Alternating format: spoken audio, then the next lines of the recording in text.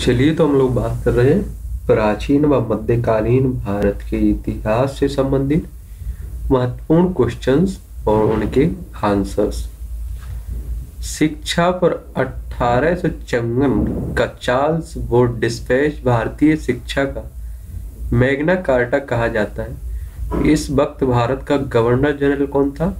Earl of Dalhousie. Lord of Dalhousie, ठीक है? डलहौजी साहब थे। सिक्कों का अध्ययन ज्ञान की किस शाखा में किया जाता है? न्यू मिसमेटिक्स में। अगला है, समुद्रगुप्त किसका पुत्र था? चंद्रगुप्त फ़र्स्ट का। चंद्रगुप्त प्रथम का। पैगंबर मोहम्मद साहब के कथन व कार्य कहलाते हैं हदीस। अगला है, अढ़ाई दिन का झोपड़ा कहाँ स्थित है? अजमेर में। अगला क्वेश्चन है, आहोम कहा के शासक थे? असम के। अगला क्वेश्चन है, मराठों तथा अहमद शाह अब्दाली के बीच तृतीय युद्ध कब लड़ा गया? सत्रह में। अगला क्वेश्चन है, किस एक्ट के द्वारा भारत में कंपनी का व्यापार पर का अधिकार समाप्त हुआ तथा यह व्यापार ब्रिटेन के सभी नागरिकों के लिए खोला गया? 1813 के चार्टर एक्ट द्वारा। अगला क्वेश्चन है, आदि शंकराचार्य द्वारा स्थापित चार मठ का, कहा स्थित है? जोशी मठ, द्वारका, पुरी सिंगेरी अगला है, महात्मा बौद्ध का महापरिनिर्वाण किसके गणतंत्र में हुआ था? मल्लों के। अगला क्वेश्चन है, ऋग्वेद के किस मंडलों को? वंश मंडल के नाम से जाना जाता है। द्वितीय से सप्तम मंडल तक, मंडलों को। अगला वह स्थान जहाँ महावीर ने पूर्ण आध्यात्मिक ज्ञान प्राप्त किया जेम्बी ग्राम में जेम्बिक ग्राम में। अगला कृषक वर्ग की कोई भी महिला बिना आभूषण के नहीं देखी जा सकती थी। यह कथन है वर्णी का। अगला क्वेश्चन है फारसी राजदूत अब्दुल रज्जाक। किसके शासनकाल में विजय राज नगर राज में आया था? देवराय सेकंड के, द्वितीय के। अगला, सूरत में फैक्ट्री निर्माण के लिए कैप्टन विलियम हॉकिंस ने किस वर्ष अनुमानित अनुमति हेतु मुगल दरबार में प्रयास किया था? 1608 में।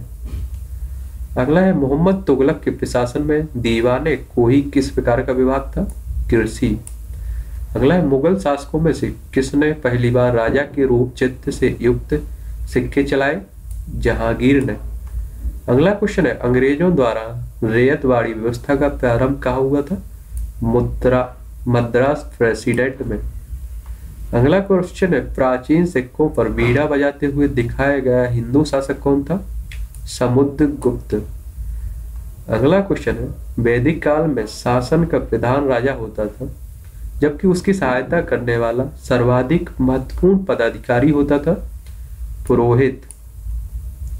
अगला क्वेश्चन है, कलिंग राज खारवेल के राज्यकाल का इतिहास जानने के लिए कौन सा अभिलेख एकमात्र स्रोत है? हाथी गुफा अभिलेख।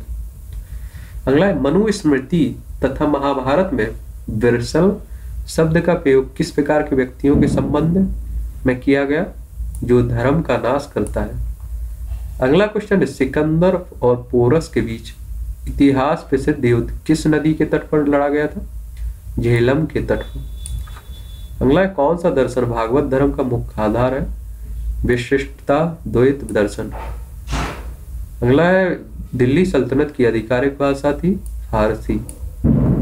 अगला है, सत्रह सौ सात ईस्वी में औरंगज़ेब की मृत्यु के बाद उसका उत्तराधिकारी कौन बना? बहादुर साहेब प्रथम अगला क्वेश्चन है, पद्मावत के रचयिता मलिक मोहम्मद जासी का संबंध किस राज्य से था? तो ये थे जौनपुर से। अगला क्वेश्चन है फीड्स इंडिया एक्ट द्वारा सत्रह सौ चौरासी में किस एक्ट में अनेक प्रकार के संशोधन किए गए? रेगुलेटिंग एक्ट में। अगला है, जैन साहित्य को किस नाम से जाना जाता है? आगम। अगला है एहोल अभिलेख किस शासक से संबंधित है? पुलकेशिन द्वितीय अगला क्वेश्चन है, सैंधव मोहरों का, पर पशुपति मूर्ति से युक्त मुद्रा कहाँ से प्राप्त हुई? मोहन जोदड़ो से। अगला है अनुलोम विवाह में होता था। उच्चतर जाति के लड़के का अपनी से निम्नतर जाति की, लड़, की लड़की से विवाह। अगला है वह मौर्य राजा जो अमित घात नाम से जाना जाता है वह है बिंदुसार। बिंदुसार। अगला है जीवन का चार आश्रमों में विभाजन मिलता है सतपथ ब्राह्मण में। अगला है दिल्ली सल्तनत का कौन सुल, सा सुल्तान? लाख वक्स के नाम से जाना जाता था? कुतुबुद्दीन ऐबक। अगला क्वेश्चन है, लाल गुंबद का निर्माण किसने कराया था? नसरुद्दीन मोहम्मद तुगलक शाह ने। अगला क्वेश्चन है, गुजरात विजय की स्मृति में अकबर ने फतेहपुर सिकरी में किसका निर्माण कराया था? बुलंद दरवाजे का। अगला है मत्य विलास फहसन नामक नाटक की रचयिता थी महेंद्र वर्मन। अगला क्वेश्चन है, शिवाजी के राज्याभिषेक समारोह की अध्यक्षता किसने की थी? गागा भट्ट ने। अगला है, भारत पर नादिर शाह का आक्रमण कब हुआ था? सत्रह सौ उनतालीस ईस्वी में। अगला क्वेश्चन है, किस उत्तरवर्ती मुगल बादशाह का उपनाम शाह बेखबर था? बहादुर शाह फ़र्स्ट का। अगला है, महमूद गजनबी द्वारा ध्वस्त सोमनाथ मंदिर का पुनर्निर्माण किसने करवाया था? कुमार पाल ने। अगला है विजयनगर साम्राज्य की प्रशासनिक व्यवस्था में शिष्ट क्या था? भू राजस्व।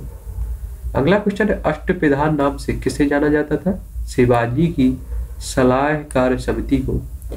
अगला क्वेश्चन है किस सुल्तान ने कृषकों की सहायता के लिए पट्टा एवं काबुलियत की व्यवस्था प्रारंभ की? शेर शाह सूरी ने। शेर शाह ने, है? अगला, किस मुगल बादशाह ने नौरोज मनाया जाना बंद कर दिया था औरंगज़ेब ने।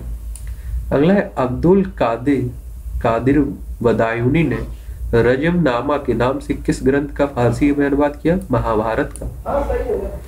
अगला है क्वेश्चन जहांगीर के दरबार का चित्रकार ख्वाजा मंसूर। किसके चित्रों का विख्यात चित्रकार था?